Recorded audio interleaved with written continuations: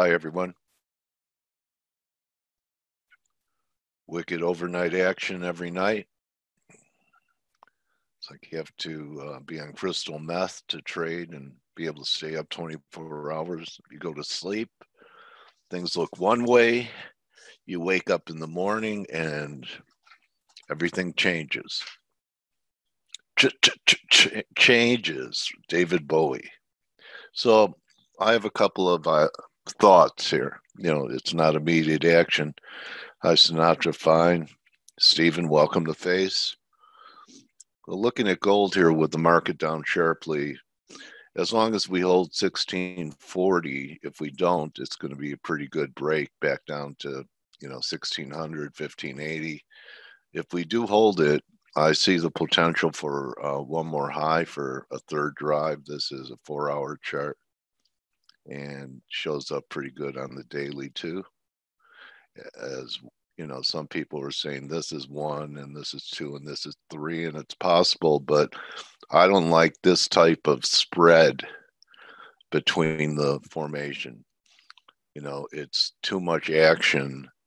Uh, I like tighter groupings of these threes. So, you know, otherwise you could always, you know, find a three, right? But now it's looking to me like one, two, and we could get a three up here. And we're, you know, most likely on the daily not be able to get above 70, just like we weren't last time. So alert for that in the gold. Uh, should that happen, silver should be able to rally back towards this level here. 1770 to 18 bucks if that happens. And that means a dollar rally that I talked about yesterday um, is just going to uh, terminate or at least back test it. Yesterday, I showed that we left an island bottom, this island bottom, and we had some good acceleration. I'm trying to just stay patient for uh, bigger things. And, you know, there's all kinds of fib levels here but I have a lot of confluence in the Dixie. I don't know if we could rally this far, but I sure would be a seller up here. Uh, I would try it at 61.8 with the confluence of the moving averages right here. Everyone see that? And then I want to wrap it with the S&Ps, just like we have uh, the potential for a three drive to a top in gold. Uh, that might be what's setting up here in the S&Ps as well. Um, their drive on the line would be about 2630, another 160 below it. And when Steve brought up uh, 2600 yesterday, kind of rang a bell for me uh, for this reason. A couple of important moving averages coming in there. Uh, where is it? Oh, yeah, auto scale.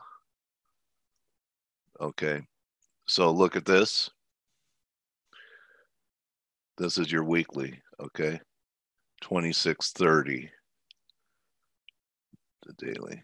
Okay, so some confluence there with this moving average coming in around the third drive line, almost looks like an uptrend. And then look at this, you know, I, I like it when they show up, whether it's a 50 or the 200. Look where the monthly moving average comes in. 2600 almost looks like an uptrend line, doesn't it? And it's coming in right there 2601 so um, you know some of the targets that steve showed on his charts uh, i have confluence of moving averages on the monthly and on the weekly. Okay so this could be very important. If we take this out i think 2000s there but i wanted to show you there's a lot of confluence at uh, right around 2600 you have a three drive and a couple of moving averages. Might be the time where say we bottom at 2600 and we peaked at 34 that's 800 then maybe we get a 50% retrace back to 3000 or something just thinking ahead a little bit.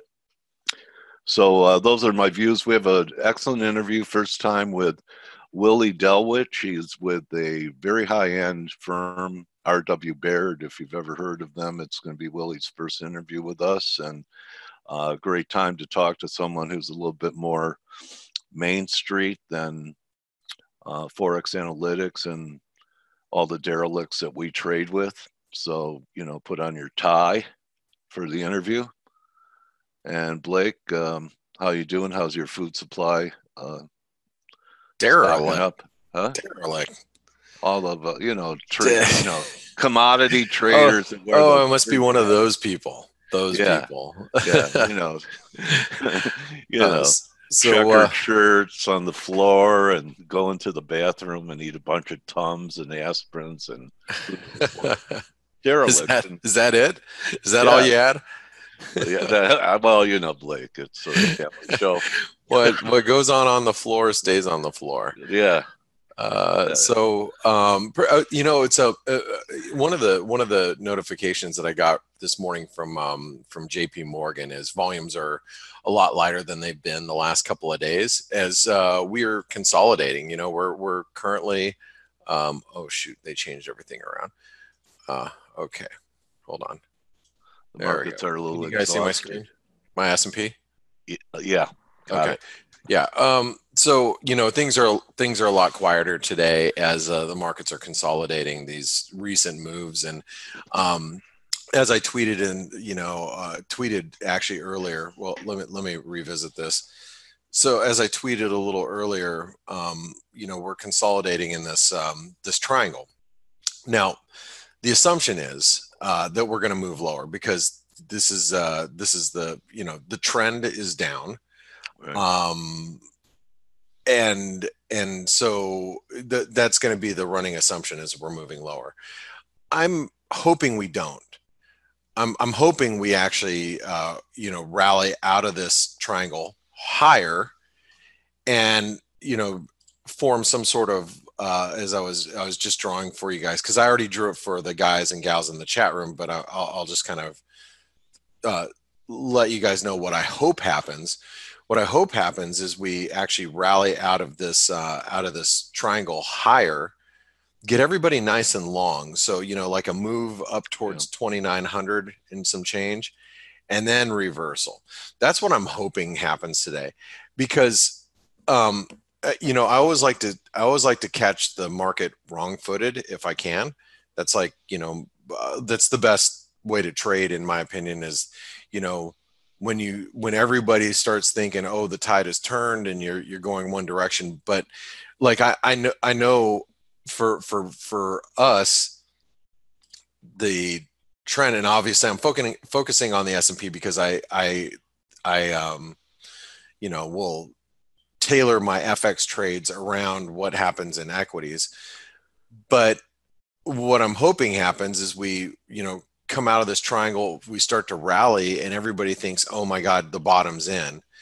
And then when um, when the market actually rallies and gets everybody into the you know like the, all the long side trades then you look for a failure and then i like to trade that failure like somewhere up here like this this is you know the area where you know i would be looking to be a seller so um, like I said, that's what I hope happens today. You know, there, there there's a lot of you, there's a lot of things that can argue why we could rally. Uh, we're going to get some sort of stimulus package from the uh, from the Trump administration, hopefully, you know, today or tomorrow. Uh, Australia is uh, implementing um, some, uh, you know, aggressive measures. They they announced that overnight. I forget what the the dollar amount was. It's like three billion Aussie dollars or something. I, I, don't know right off the top of my head. I can't remember. Uh, you have um, an emergency rate cut from the Bank of England this morning. So, sorry. Um, you know what I'm hoping happens is we get you know a little bit of a rally, a counter trend rally that gives us an opportunity to sell into. That's what I'm hoping. Now, I, I'm not banking on that right now because I'm I'm I'm waiting for us to move. I'm not I'm not going to um, you know uh, make a move here, not knowing what's happening, um, because I mean let's let's face it, um, the the news stream over the last other than you know like economically what what countries are doing and you you got Merkel talking about we'll do whatever it takes you know yada yada yada. Um you you have aside from the economic news stream, you have the the the the the, the news news about you know the increasing cases and you know a lot of state of emergencies. That that news stream is not so positive. So um the you know you got two opposing forces here and and you know i'm in the camp of you know what are you going to do economically that's going to really while the euro's getting a catching a bid here. Um i'm kind of looking around see if there's any news coming out. I don't see anything. But what what's the uh you know what's actually going to fuel uh, uh, an actual recovery. It's not going to be the economic um, uh, because of the economic implications of all these central banks or, or fiscal uh, uh, spending from different governments. That'll help cushion the blow, but it's really going to be the virus subsiding a little bit. And right now, it looks like we are probably the next I say we, I mean in the United States, we're probably the next epicenter of this uh, this coronavirus. So, um, you know, it's a it's a big push pull uh, down at these levels, and I think we have to be really careful.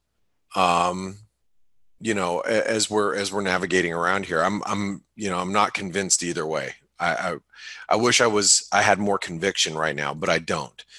And uh, the, the one thing that I have conviction about is volatility is still quite high. And even though it may be a little uh, light right now, volumes might be down a little bit as we consolidate.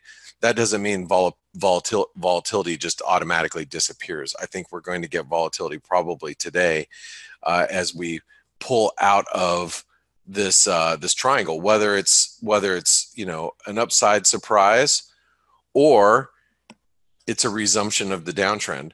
You know, the the uh, the the propensity for a triangle to can have a continuation pattern that's the the higher risk right now the higher risk is that we break down but i'm hoping we get the opposite because like i told you guys before this is how i want to play the s&p i want to well not necessarily the s&p although i might actually uh, short some s&ps up there but it's actually how I want to play the market today. I want to see a rally first and then sell into that, you know, today or tomorrow. But like I said, it's it right now. It, it's wishful thinking. Um, right now, we're dealing with this consolidation, which I think we have to just be really respectful of. And uh, I'm looking at a couple of different things. Um, just you know, kind of following a few different things. First, first of all, is the U.S. dollar Mexican peso. Um, if we rally, and this that's the big if, right? If if, if equity markets rally here, um, I think the U.S. dollar Mexican peso. This is a currency pair I actually want to trade to the short side. Now, you guys have known, and I and I and I I don't have to be, um, you know, you you know, I don't have to explain this to you. I don't think in too great a detail. You guys have known for the last few weeks. I've been extremely bullish the dollar Mexican peso. I played it long as we came out of this descending wedge, and I've been playing it long for the last couple weeks. Uh, I did not catch this last tail end of this move because we we moved a lot more aggressively than I thought. Um, but Banxico, the Bank of Mexico, has announced that they are stepping in and intervening. So um, what that what that means is basically the, they're they're they're trying to stop the depreciation of the of the peso, which uh, I know I know I explained this yesterday. For central, as as a central bank, um, you know, you you don't well as a as a trader, you don't really want to fight a central bank. So if if if Banxico is out there trying to basically stop the peso from depreciating in value, well, the the the the trade that you want to be is is long pesos. Now, th- there's a certain time to be long pesos. You, you're long pesos during a risk on environment.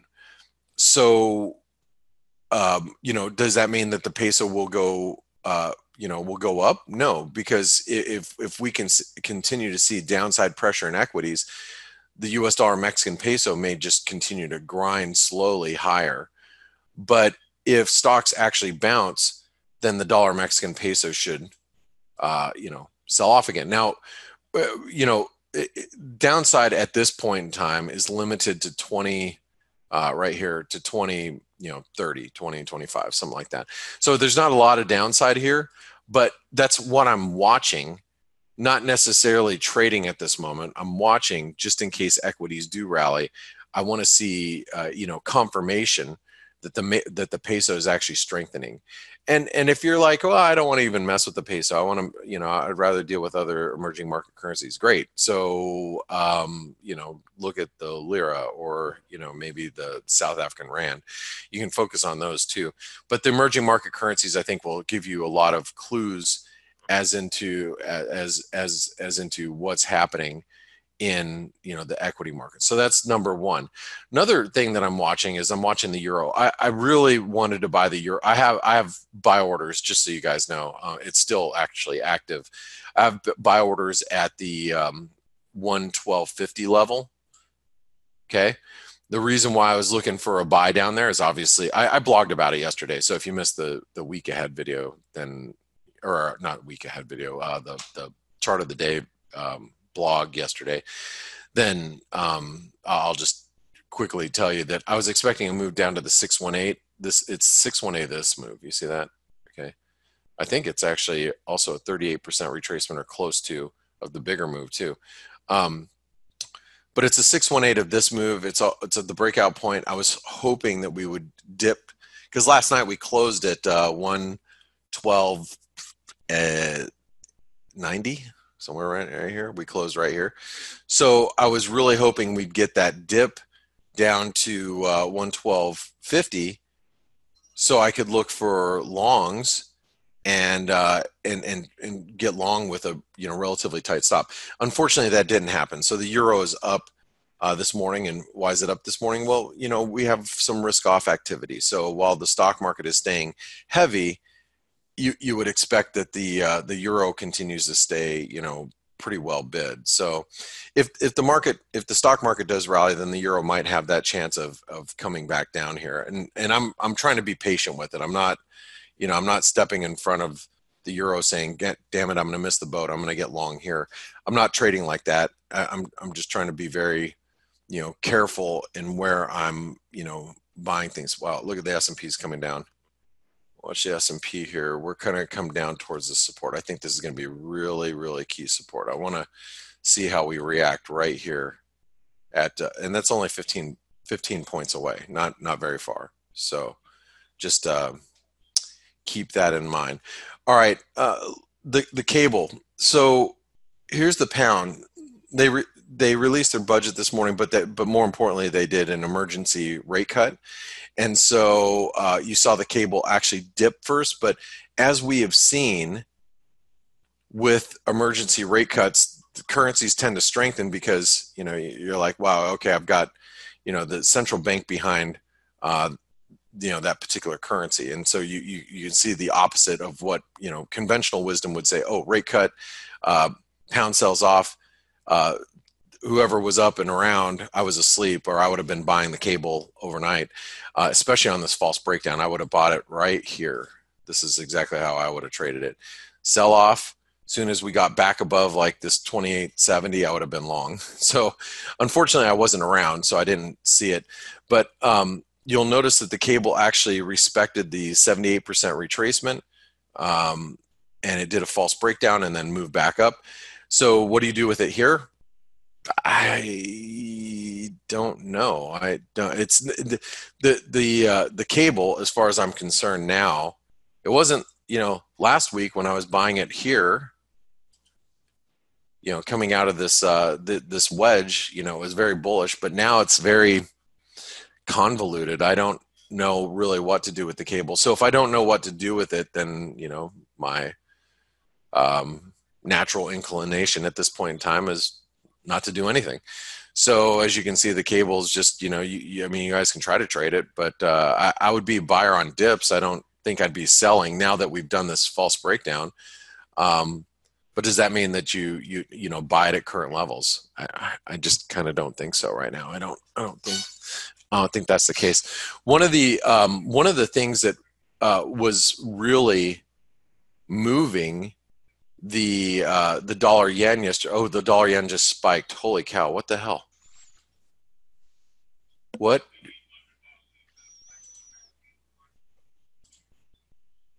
Uh, something just happened. Something about monetary policy next week. Um, oh, it's a Reuters headline. Hold on. Hold on.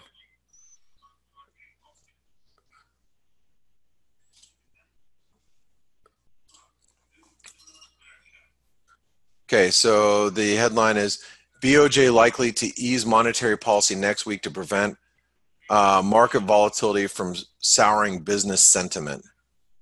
So they're looking to ease. Hmm. Now remember, weakens their currency first. We just saw it. This this is the headline, guys. BOJ likely to ease monetary policy next week to prevent market volatility from souring business sentiment. So you see the spike up, people go ease, and then it starts to strengthen again. Same same reaction we saw from the uh, from from the cable overnight. Now I'm a little bit I'm a little bit uh, nervous about trying to uh, short the dollar yen at this moment.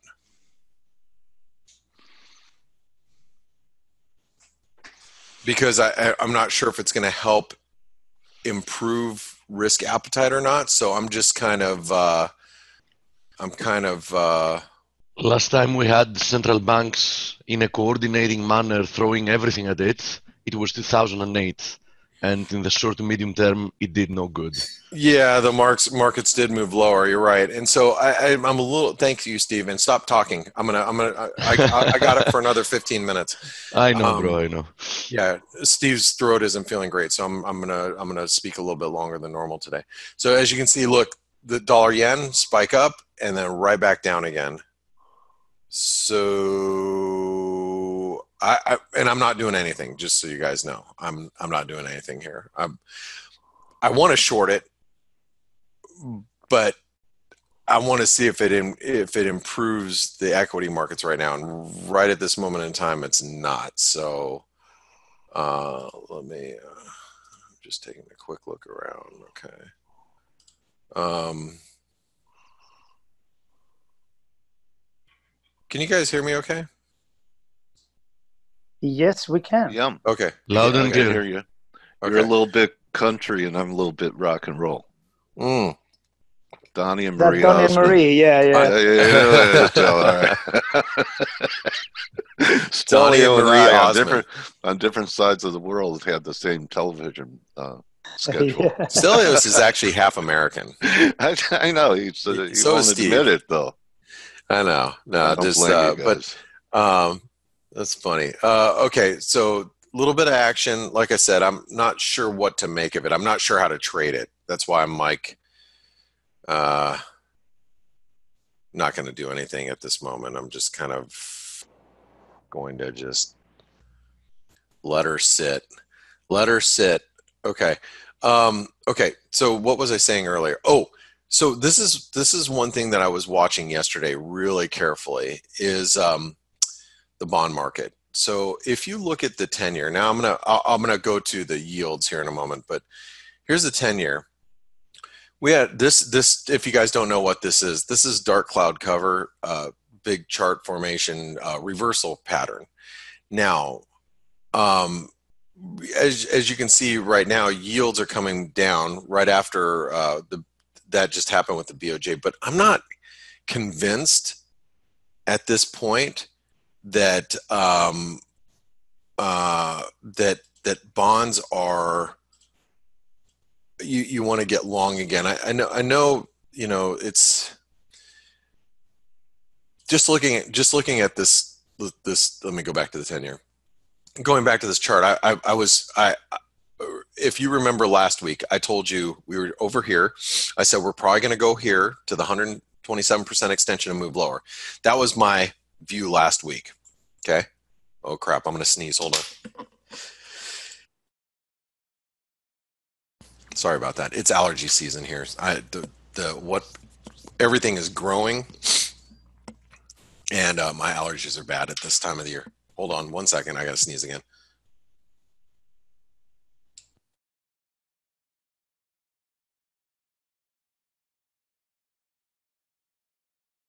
Okay, maybe not. All right, I thought I was going to have to, but okay, sorry. Uh, so we we basically did what I thought we were going to do. We overshot because um, if you if you go back to last week's, you probably probably a week ago today, you could go back and listen to what I said, and I and I bet you my chart looks something like this, right? Last week, so we overshot, which is typical of a market that's exploding, and now we're coming off. Now I, I'm not sure if this is like the top, top, top, top in in in the uh, in the bond market because you, you have to look at the breakout point on a weekly basis. As long as we're above this 135, you know, basically 136, as long as we're above 136 in the 10 year, uh, we're in breakout territory. So there's no reason to believe at this moment that that it is it is um, uh, that and Joe Joe just reminded me one day one week today was the Biden bounce, so that could have been actually the reason why the bond market uh, was you know one of the reasons why I was ripping. But anyway, um, this could be th- as long as we're above this level, we're in breakout territory. So I, all, all I can really expect with the reversal candle that we saw yesterday is maybe a continued dip a little bit, but that means that yields would have to go up, and if yields go up, th- there's that is the force that was, and, and you can see yesterday, is yields were going up yesterday. You can see them right here. That was the force that was driving the 400 pip rally of the dollar yen off of the lows yesterday. Uh, you know, off of these these levels. All right, the 10 wherever we're at 102 and change. So, do you know? I'm going to be watching bonds pretty carefully today because I think the bond market, if if yields rally from here, let's just you know for argument's sake, let's say yields rally, then that typically will coincide with equities going higher. So eh, you know we might get that you know move higher in equities that I'm hoping for. Again, I don't know for sure, and it's just it's um, it's it's something that you know i'm just watching for clues. Because what i'm trying to do is i'm trying to figure out clues what the s&p is going to do versus um, what i you know assume is going to happen. I, I, like to have confirmation from different asset classes whether it's you know the bond market or whether it's uh, whether it's um, uh, you know the yen or maybe even gold. And speaking of which i can take a real quick look at gold gold uh, just continues to be so strong. I, I'm I'm not bearish on gold, as most of you guys know.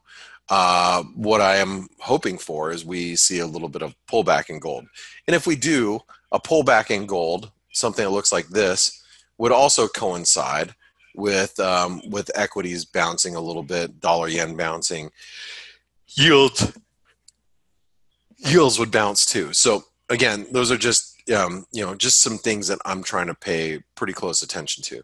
So let me do this. Let me um, let me address a couple of comments. Um,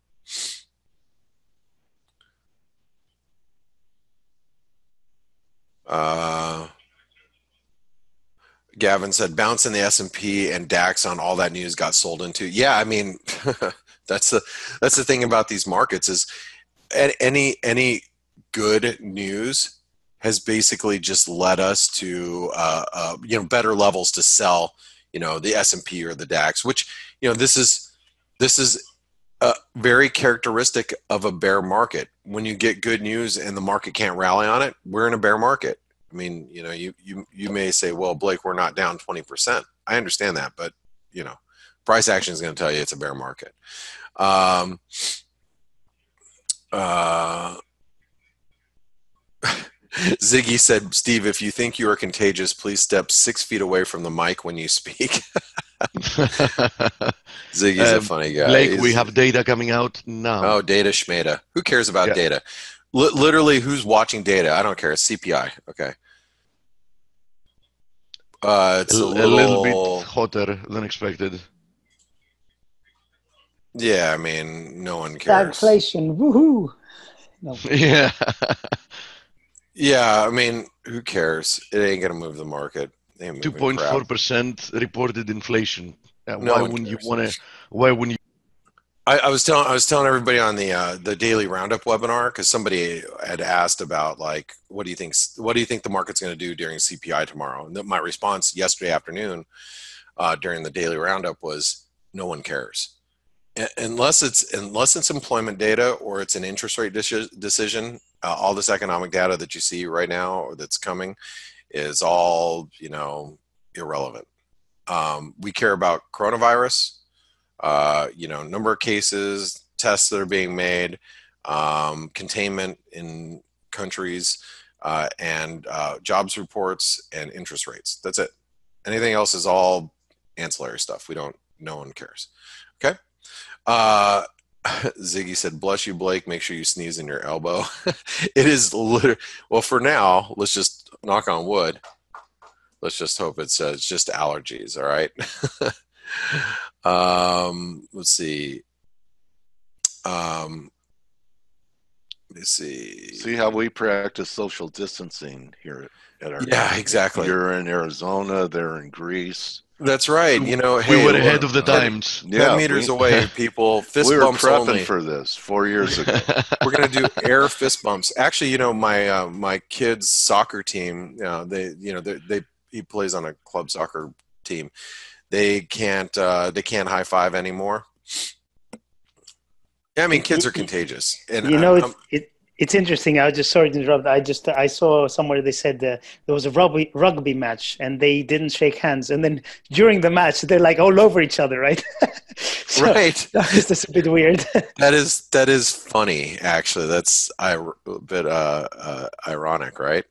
Um, anyway, well, uh, so how are you guys doing today? I know Steve, you're not feeling too uh, too terribly great. It's okay. It's gonna. It's gonna pass. Yeah, uh, they as as it, as it always does. Um, Yep. And uh, Stelios, how are you today? I'm very good. We're all locked up in in our house, and uh, nobody's coming in, nobody's going out. So great. You think so? So are you guys me. on lockdown right Ring- now? Ring on your doorbell in a few minutes. Is that requ- Is that a mandate no, in Greece now? No, No. but the school schools are closed. So as Yeah. long as the kids are not out bringing everything from the other Yeah. kids, then we just stop, stop everything. So So Yeah. how's the how's the how's the uh, a- attitude there, and what's uh, what's the attitude around uh, the Athens area? Because I know you guys have had. I mean, it- the, the the difference between like where a lot of us Americans live, which are out in the suburbs or you're not in city centers, versus Athens, where you have a a, a big concentration of people. How, how's the how's the attitude in Athens? What's the what's the temperature there with the as far as people and what they're discussing? Decently personally, calm so far. what what I hear, yeah, people don't really care, which is very worrying. Are they out and about, going grocery shopping, etc.? yeah, it's Not good. as much as regularly, but it's not that you know. Yeah. There are places places are empty, etc. So it's. I mean, if you know that, uh, if you know, you're going to notice the difference, but Yeah. nothing to write home about. You know. Yeah, yeah. Okay. Interesting. Okay. Yeah, you know, I'm, uh, you know, there's aside from toilet paper disappearing. I mean, that's the thing about toilet paper. Uh, you Which, know, you by the way, about- hasn't happened in Greece at all. uh, that's well. I At mean, you all. think you you think about it, it's like, oh, that's one thing I don't want to run out of, right? Because it'll sit on the shelf forever. You don't have to worry about it, you know, going bad. And I definitely don't run, run want to run out of toilet paper because if I run out of toilet paper, then we got some serious problems. What am I going to do? You know, I'm not wiping my butt with my leaf. Uh, a leaf out from the front yard. So, yeah, I, you know, the, I mean, that's uh, you, you understand why It toilet would work though. it's got a great shelf life and you don't want to run out of it so I wouldn't want to be your gardener if no no no At no, the very all. beginning, a few weeks ago, uh, we actually had a temporary um, um, crisis with things like spaghetti. Uh, you know, anything that you know Yeah. is edible and you know you can store for a long time. Yeah. For a few days, those went out of stock. Yeah. Um, but other than that, I wouldn't say that I've noticed anything else missing, and they've restocked. Okay well you know that's that's that's good uh, that's good to know i mean it's you know here it's pretty much business as usual, but I'm not in a city center. So, you know, you go into New York and I'm sure Chicago probably feels something very My sister's in Palm Desert Lake and she went to Costco. There's no toilet paper, paper towels, um, Yeah, you know, sanitizers. uh, yeah, the, those those like places uh, to Palm Desert is very similar to where I'm at. You know, it's just Yeah. a you know, it's I mean, you know, Desert. It's, it's a desert. Well, it's a desert, but no, no one's really too terribly worried yet. And it's it's it's not. It, unfortunately, it won't be a big concern here in the United States uh, until you start to see more cases and more deaths, and then people will start to panic. We could be in a very similar situation that Italy was in ten days ago, ten days from now. 10 days ago italy was like eh, you know and then all of a sudden the cases are increasing people are dying and then you know now now you know italy's on lockdown. So that's uh that's one thing that you have to think about if where you're at. Think about how escalations have increased in places like italy. That can happen to you. If you don't think it can happen to you go talk to the people in new rochelle um, new york where They're locked down now. Well the lockdown there's a there's now a you know a presence of uh, uh, of um, Community a national guard oh yeah, that's right. National Guard. yeah and like uh, one of the guys in my office he's like yeah i was almost out of gas and i was driving from manhattan to, to, to greenwich he's like and i i was passing by new rochelle and i was like oh i can get off here and get gas he's like no i'm gonna I'll, i'd rather run out of gas i'm gonna just continue to go so anyway Yeah. um so uh so uh, well guys you know like i said it's quiet i'm i'm really just looking at the s&ps we're, we're getting really close to that support guys so um so uh just be careful of where we're at you know be mindful of where the markets are at um and, the candle expansion, uh, Blake. I don't know. Like for me, since we've had this break, when I look at the candles now, where I normally could take a position, figure, oh, that candle's starting to fail. Uh, I could just get short here. But then when you look at the, uh, you know, where the high came in, normally you'd be risking 30, 40 pips. And now, because of the expansion of volatility of ranges, that same candle that you would have traded, say, two weeks ago, now you have like a 90 pip spread between where you would short it and where the high is. yeah yeah You know what I mean? Yeah it Yeah, no. I, I I hear what you're saying, and and it, and and the- well, now we're seeing contraction, but we can see expansion here very shortly. and you go to sleep, you go, you go to sleep at night and you wake up and it's a completely different picture. Yeah, uh, you know, as, uh, I was That's hard to deal with for me. I was talking to my neighbor. He's uh he you know he's you know we were talking about like his some of his retirement stuff because he's go- he he was leaving and um, I'm watching their cat and um, he's like yeah you know we were up really big today. I bet we're going to be down really big tomorrow. And he's like I just kind of you know figured that that's going to be the case. And yeah, I mean you know up Yeah. four percent yesterday, down three percent today. You know. Yeah. Business as usual. So um, uh, I'm going to pass it over to uh, Steve and Stelios, and uh, for the last 20 minutes. And Steve, if your if your throat's starting to hurt, let let me know. I won't go anywhere, um, but I'll let you Okay, take sure over thing, and mate. We're talk talk a little bit.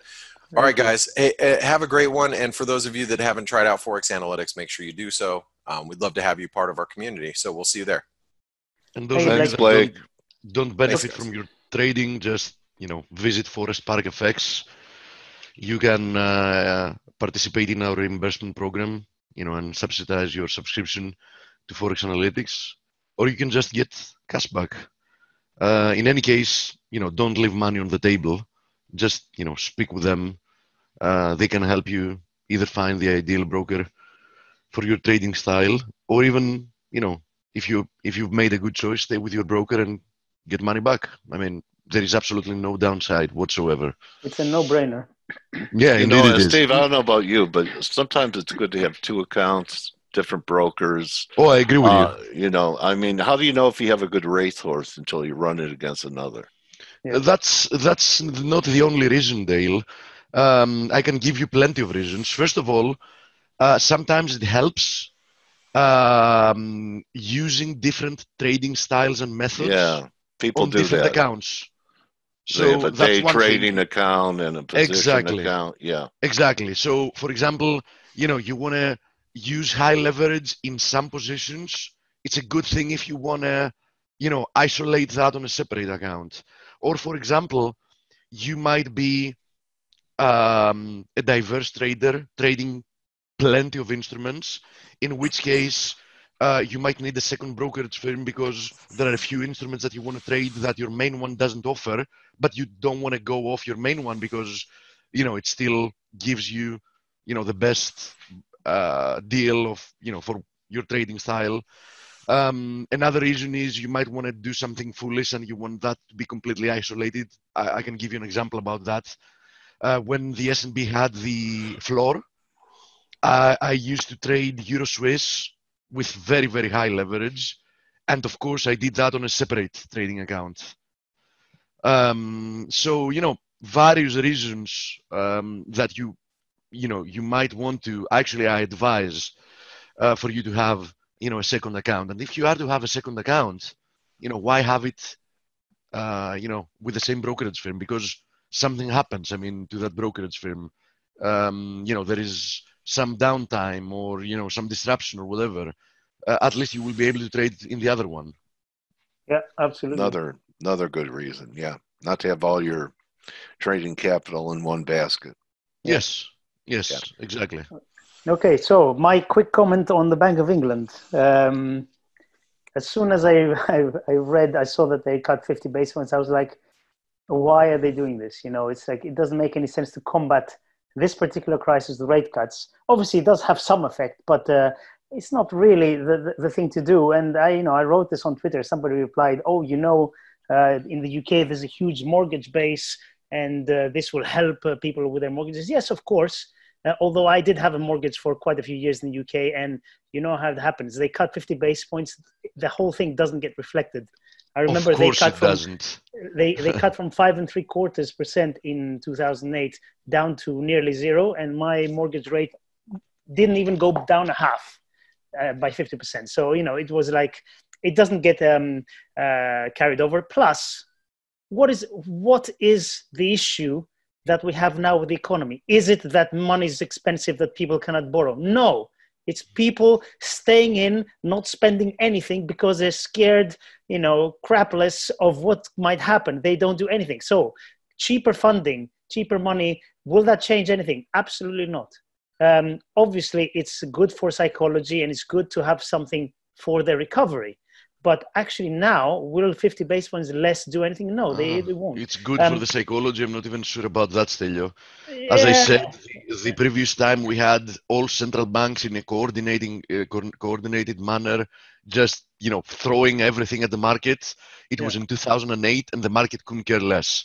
Yeah. Of course, somebody will say that you know at some point, you know they're gonna do enough. There's gonna be a big bazooka, and you know the market is gonna respond but my interpretation is that at some point, prices are going to be again low enough for the market to care to respond. Yeah, yeah. until until prices go back to, you know, more normal levels.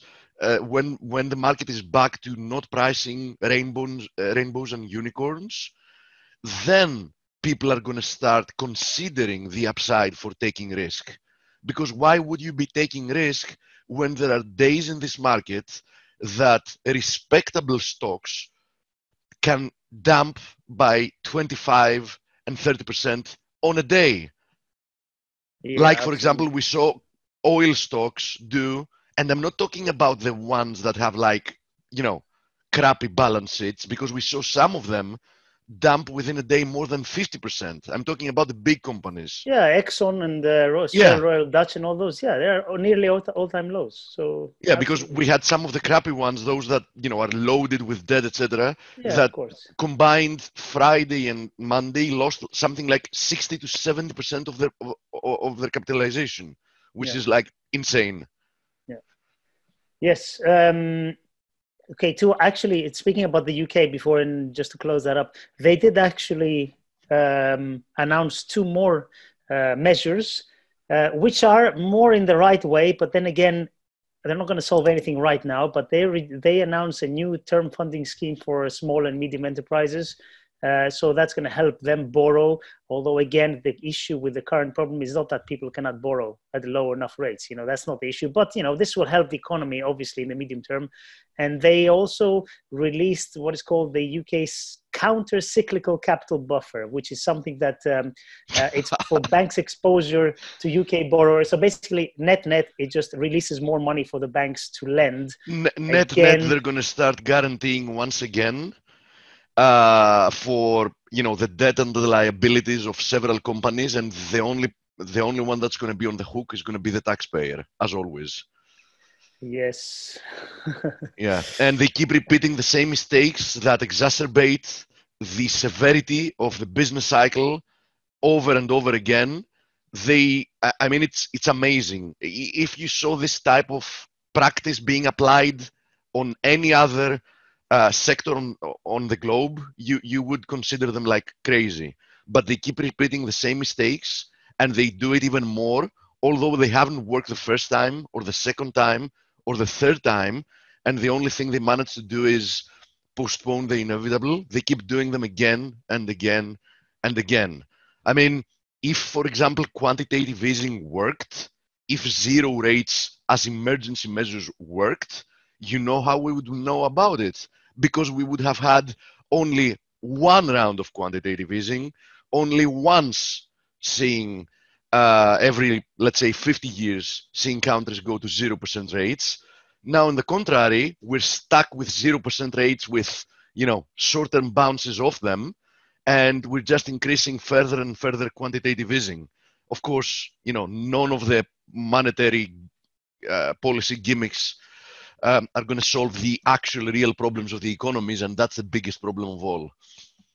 Yes. Anyhow, absolutely. Back to the Actually, charts. Unless um, we have anything else. Uh, no, one. Just one last thing that that, that I read just now. Um, uh, we have the UK channel, Chancellor uh, Sunak um, announcing the budget, and um, he did say the response to the virus will be temporary, targeted, timely and coordinated with the Bank of England. And this guy on Twitter, who I, I quite um, liked follow, says, uh, please remember this next time you are told the Bank of England is independent of government.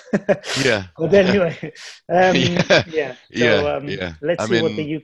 Uh, they, they, they're not even holding the pretenses anymore, yeah. right? I mean, if I, I honestly don't know how many people out there really believe that central banks are independent because, you know, if you do, let me give you my email. I have a bridge to sell you once the webinar is over.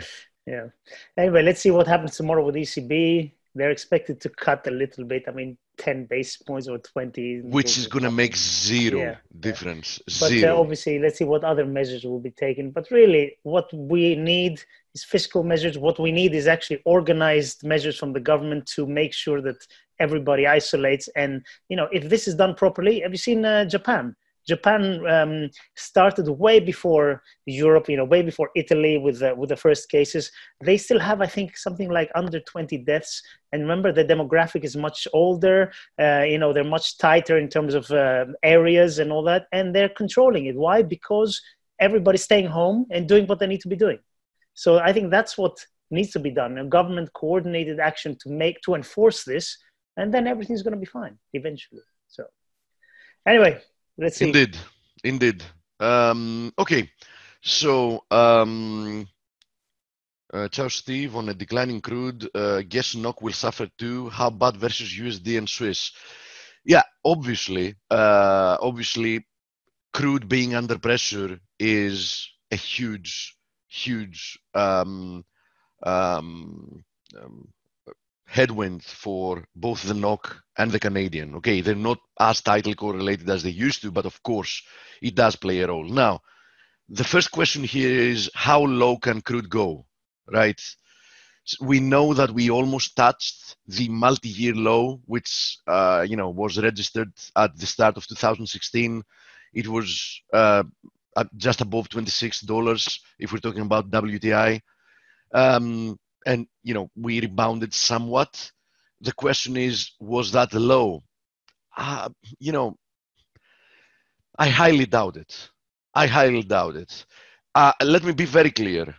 Uh, I do believe that crude is going to be an amazing buying opportunity in the not so distant future because there is absolutely no way that crude can uh, be sustained at prices you know below $30 for you know you know a big period of time especially given my bias having to do with the dollar. So especially crude you know priced in, in dollars no way if you ask me. But that doesn't mean that we can't stay here for weeks you know even worst case scenario even months. And doesn't even mean that we can go down to 20 or even you know high teens very temporarily. Let me make it clear very temporarily. So as i've said before with commodities you know the lower the price goes the better the risk reward is because opposite from what can happen to a stock a commodities price cannot go down to zero. As simple as that. I mean there is no indefinite downside for crude. Can crude trade to 15 no it can't. And, if it can do that for a day yeah okay whatever but that's not the point. I mean you cannot have the world still needs crude and it's going to need for many many years to come and there is absolutely no way that there's going to be supply in the market if prices stay where they are. First of all, US shale industry is going to go completely bust if this, uh, you know, becomes a thing for more than a few weeks. US shale industry was anyhow, you know, at a, you know, at big, big trouble because U- US shale industry is a high um, cost production uh, segment of of the uh, of the oil market, and and that's a big problem because they've been um, running underwater for you know quite some time during the past few years, and most of them are hugely indebted. So, first of all, there is a big chance that this industry is going to you know go out, or you know, alternative is we're going to see some some kind of a TARP program, but but you know for for this industry. Now, does this fix the problem? No, it doesn't. Um, so um, supply is going to start getting reduced, and you know, with quite a fast pace, you know, from all over the globe, and that eventually is going to balance um, with whatever decrease in demand we have, and then crude is going to have a lot of upside. So going back to USD NOK, especially, first of all, USD NOK is now trading above this um, multi-year ascending channel. You can see it here. Um, but you know, would I be buying it? No, I wouldn't be buying it. I mean, I would be more than happy to short it once I get a big signal, but I wouldn't be buying it because, you know, I'm I'm, I'm very skeptical about the upside that's that, that's left here. If you compare the fundamentals of the Norwegian economy to the U.S. economy, it's not even fun. It's not even fun. Norway not only has an extremely low debt, but they've managed to set aside one trillion dollars in the sovereign fund from the income they make from crude. Right, one trillion. And if one trillion doesn't sound much to you, just consider that the population of Norway is 5.4 million. So 5.4 million people have managed to run their economy in a healthy manner and put aside a trillion dollars. So, you know, if you want to be long the US dollar against, you know, the Norwegian NOK, you know, be my guest. But there is no way in a billion years I'm doing that. Because at some point, and in the not so distant future, the USD NOK is going to be one of the best FX trades you've seen in decades, in my opinion. It's going to crash in, you know, like it's nobody's business. Because at some point in the not so distant future, fundamentals are going to start to matter. Debt is going to start to matter. Debt always matters. You can ignore it for a period of time, and in a coordinated effort, they can agree that we all ignore it. But, you know, at the end of the day, that creates huge, huge headwinds to an economy. You have to spend more and more of your tax receipts to service it. Um, it creates huge issues indirectly. For example, the huge pile of global debt is what forces central banks to keep rates at zero. Actually, it's not forcing them, but the combination of central banks not being independent and wanting to give a free pass to politicians to not do the right thing is what forces them, in combination with the debt, to keep rates at zero. So, um, keeping rates at zero creates huge issues, for example, for pension funds.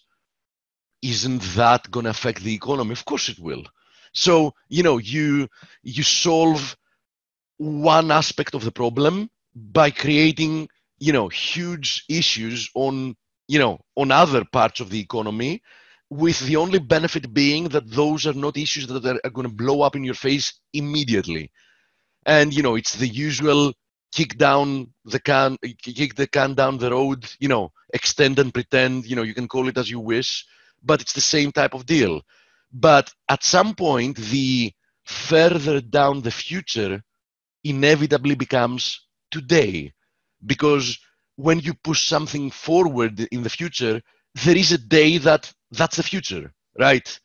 So you know when all those things start mattering again and trust me they will matter again. They mattered for eternity and they will matter once again. Then Nor- the norwegian kroner is going to be one of the best currencies you will want to own so no, I'm not going to be buying this breakout, no matter where crude goes, even if it goes down to five dollars per barrel, which isn't going to happen. But I'm just saying, I'm going to be looking for the reversal, and then I'm going to be buying as much as I can, and I'm be, I'm going to be holding as much as I can. Now, Canadian dollar is a totally different story. As you know very well, those of you that are, that have been here, I've been very bearish the Canadian dollar. Actually, the USD CAD is probably one of the very, very, very few FX pairs that I'm long. Uh, my bias, sorry, I don't mean I have a position. You would know if I had. Uh, my my bias is being long USD against the Canadian, and because you know Canada doesn't have all the benefits that I just explained that Norway does.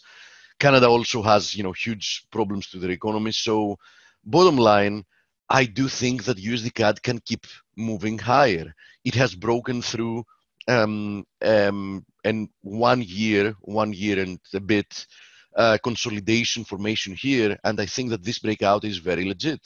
And I I could easily see um, Canadian trading back above 140, right? Uh, in any case, by the way, any pullback towards like 136.60 um, if that doesn't work, 135, 70, these are good buying opportunities, in my opinion, especially for some reason your bias is being long the dollar. I have no idea why that that would be. I mean, from my personal perspective, I mean, any, you know, any any position is respected as long as you know what you're doing and you have the proper risk management. But in any case, if you're looking to be long the dollar, definitely USD CAD is where you want to be looking uh, to do that. So, you know, these are the areas I would be looking to buy. Um, what about palladium? I'm still short palladium, actually. Um, I'm still short palladium, and you know, I'm not very enthusiastic about it. In the sense, I'm, you know, I'm, I'm deep in the money, but I, I really was hoping, and it's not unlikely to happen. Uh, but I was really hoping that palladium is going to really crash, like you know, see a few more days like the one we had in the first day we reversed lower which was like at some point we were like 13% lower. Um, so far the pullback is orderly. I mean orderly in comparison to anyhow the amazing um, rate of appreciation that we had for this pair. Um, you know my thesis remains that you know the next downside support is at 2250 but I really want to see Palladium uh, back to 2000, and I think it can happen. Now, uh, as I said, I would be more than happy to see some kind of an acceleration lower, but you know, so far, even if this is a corrective move, I do think that we can at least make it towards 2,250. So I think there's more downside to come here. Now, would I be selling it here if I had no position? Probably not. Um, I mean, you know, you had a few opportunities to, to sell it, um, risk reward probably isn't you know on your side if you want to do it you know today right here right now let me see more questions The best is just taking another 50 point ship and will surely like nothing. Could you look at crude oil? Yeah, we already did that. By the way, mm, now, now that we mentioned crude, look at natural gas. And this is a very interesting divergence if you're asking me. Unfortunately, I've taken profits on natural gas when we pulled back my um, my my stop loss got triggered, which I had trailed into my profit look at natural gas. I mean, crude is still moving lower, and natural gas seems to be breaking above this Great descending ch- channel. So this is also something uh, I'm, you know, I'm paying attention to because this divergence might be indicative of like a bigger, bigger turn in in this market. So I, I, I think that, yeah, I think that's something you you have to pay attention to. Because, because when what happened with crude, people don't want to touch energy, period. All right. So you're not going to have a, a big flow of public money coming into nat gas when everyone thinks so you know we're going uh, and green. speaking of that i think it's worth mentioning that great article that kirk uh, spano wrote yeah uh, and he very well uh, made the point he said that listen i'm going to be looking to be a buyer of, of, oil uh, in, in, the future. Um, but you know, you should be very, very careful buying um, companies. companies. Yeah, yeah, because, because they're in big trouble. Yeah. yeah. So I think that's that's worth noting. Well, our guest is here, buddy, and you could go rest your throat. Yeah, absolutely. Who do we have today? Uh, first time guest, uh, uh, William Delwiche. I hope I have your name, last name pronounced correctly, Will. And uh, you know, his friends call him Willie, I believe, and he's with R.W. Baird. They're an upper echelon uh, firm, uh, a lot of great research, great reputation, and in fact, Joe just uh, uh put on Skype an article that Willie wrote on recent market actions. So I'm looking forward to okay, great, talking Enjoy. to him. Yeah.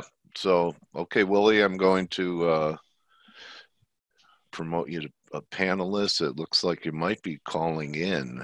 I know we I'm didn't hoping. cover plenty of questions, uh, guys and gals. I'll do that tomorrow. Okay. Feel better, buddy. Thank, thank you, Dale. Okay. So I think I unmuted him. No, you haven't. I can do it if you want. All right. Go ahead.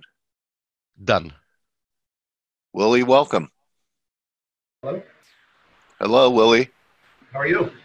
Good. Uh, very nice to meet you. Thank you very much for spending some time uh, during these historic market moves to be with us today. Uh, very nice to meet you.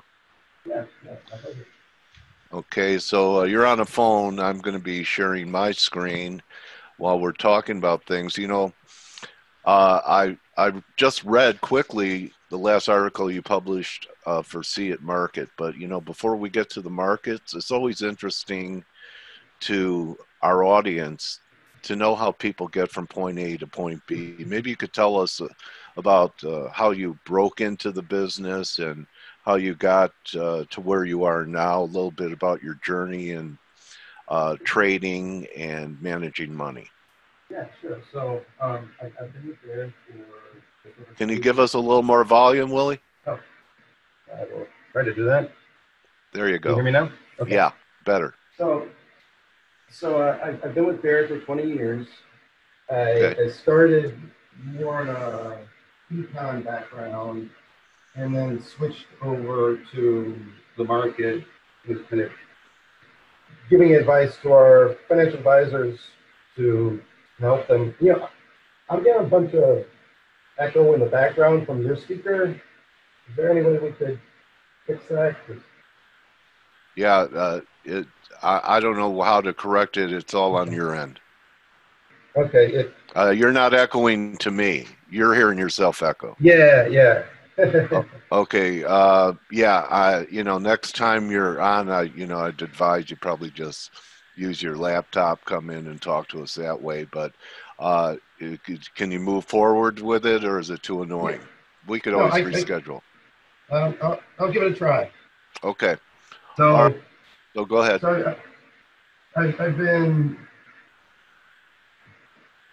uh, focus mostly on on kind of high level macro stuff for our, our financial advisors, giving them a sense of what's going on in the economy, going on um, the market.